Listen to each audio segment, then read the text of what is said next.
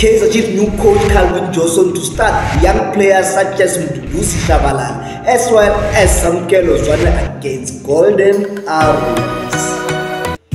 Welcome to Kaizer Chiefs Corner where you will hear all the latest news related to Kaizer Chiefs Football Club, Amakosi Amash. Guys, Kaizer Chiefs youngsters such as Mduduzi Shabalala as well as Samuel Swane were no longer playing under previous coach that is Mulipentegi guys. But Kaizer Chiefs interim coach that is Calvin Johnson believes in young and skillful players such as Mduduzi Shabalala. So Kaizer Chiefs next game against Golden Arrows. The big question is what is the best starting 11 that our new head coach that is Cavin Johnson will go with? Will he even start young players such as Mduduzi Shabalala? This is the starting 11 that we think Cavin Johnson will go with goals. It will be Isaac Khune to start right back. It will be Reeve Frosler left back it will be Edmilson Dove if he's fit to play center back. We think Cavin Johnson will bring back Given Msimango back into the starting 11 playing alongside Tata Yakone Detroit let's go to the heart of midfield. This guy Ox